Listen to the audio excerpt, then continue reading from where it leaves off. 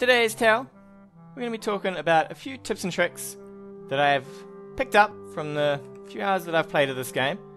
Uh, so the first one is how to do crop management, right? So here we're going to plant our Cabernet.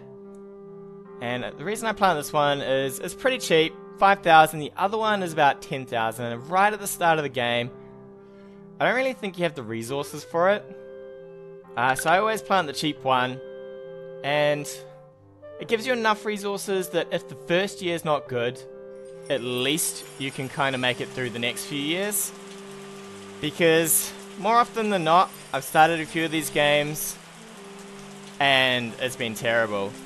So what I do for the first few months is I try to maintain light foliage. The reason I maintain light foliage is a cloudy day will put your ripeness up by nothing. A sunny day will put it up by one.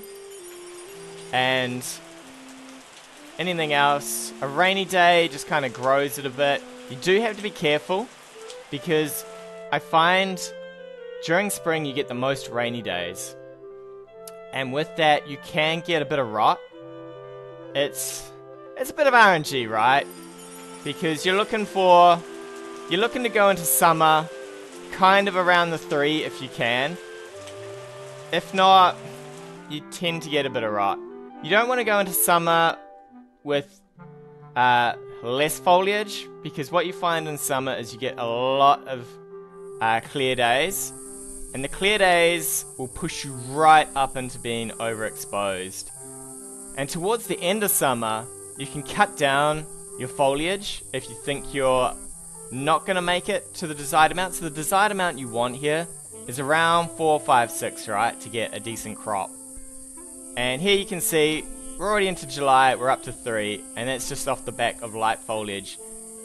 You could maybe risk optimal foliage, but you're more likely to find that you get rot, and rot really cuts into your total yield down here.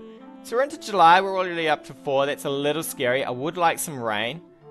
Uh, clouds not so bad, at least we're not going up. So I'm going to talk about a few things here, so I'm going to pause it for a second.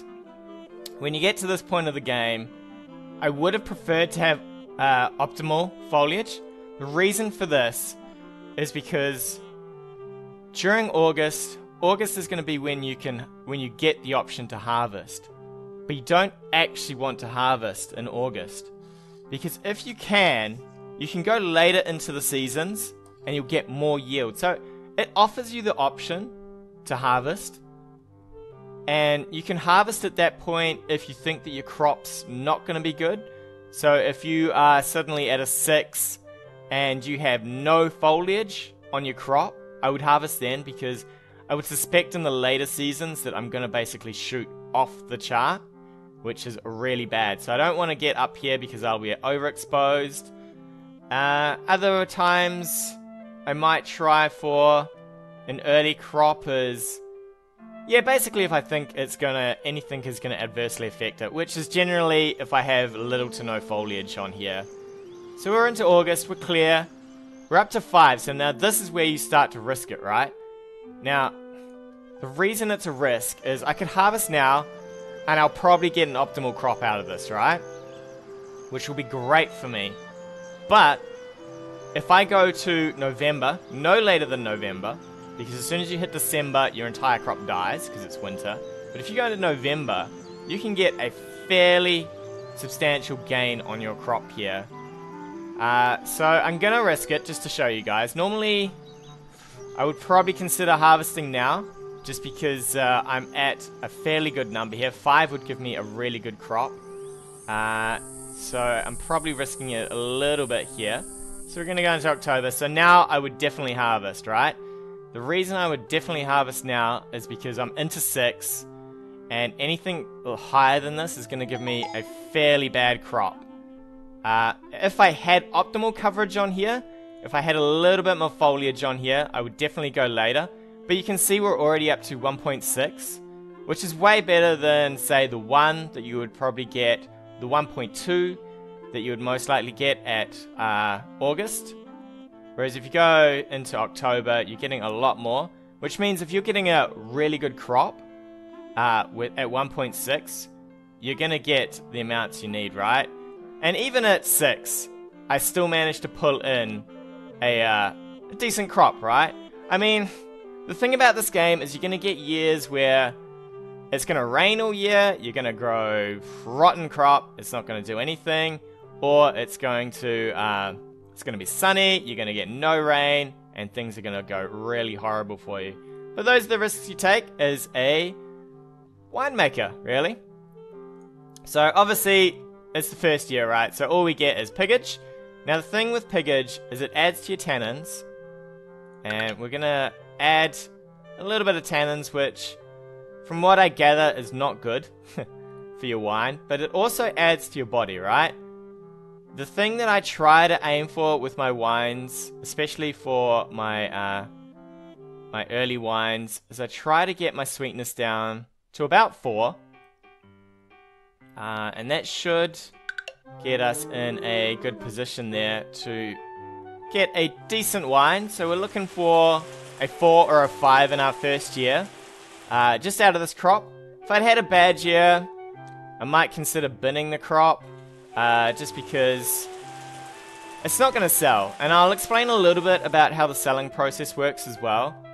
Uh, the thing is, is if you have a bad crop, in a bad bottle, it's really hard to shift the merchandise. So the thing here is, I've got 5 acidity, right? I actually want to push that up because I'm going to store these in barrels. And the barrels, as they age, they're going to drag down both the tannins and the acidity. Also, by crushing this by a fair bit, you get a lot of body as well. So I'm to full crush it, which should give us a lot of body and a lot of acidity to work with. So we're going to uh, begin our crushing here and I will show you. So now we have 9 body, 10 acidity, we've got a fair few tannins, but in our oak barrel here, we should get a decrease of 1 acidity per 2 tannins. And from what I've noticed, it only goes down to as low as 4 tannins, uh, which is generally where I tend to do it. So we're at 7 now, so we're going to speed up a little. We want to go a few months into the future to get our wine going and we should get a pretty good wine out of this one, I feel. So you got to keep an eye on it because you do not want it getting, uh, you do not want your acidity to go down too low. So I think we'll go one more. And also you can see that your body also goes down as soon as you start doing this. So one more month should get us into the right spot. Alright, we're still in February. Come on, February. You can do it. You can do it. So the thing you also have to manage is obviously your crops are growing at the same time as your barrels here. So we can see we're down to 4. This is as low as I've seen it go. Uh, we've got 8 acidity and we've got 5 body. So we're definitely going to bottle this. Uh, we're going to just chuck it in a normal bottle to start with. You can go for the cork if you like, but the price that it adds, considering our renown, is pretty low at the moment. It's, it's not really worth. Um, so we do have the ex excellent weather management here. And this is kind of what I aim for normally. Maybe around 7. Maybe, maybe 7 would have been a bit better actually, but normally I aim for around this level. We're going to invite to the tasting here. And you get 5 stars, right? So straight off the bat, this is what you're kind of looking for. Sometimes I get 7, but I try for the low sweetness, the, the low tannins, the body it's kind of hard to deal with the body because you don't have any way to directly influence it. Sweetness you can at least lock in when you're fermenting. If you go too sweet, I find you get a bad rating. Uh, if you leave the tannins up high, I found that you get a bad rating. Acidity low tends to give you a bad rating. Uh, this is just what I found for the first few hours. Uh, so now I'm going to show you how to sell this stuff to get maximum profit, right? So you come here and you go, sweet, I could sell this across everyone, right? That is a dead set mistake. Right here, you have distributor uh, distributor relation price per bottle, right? And you see you got a bunch of zeros here.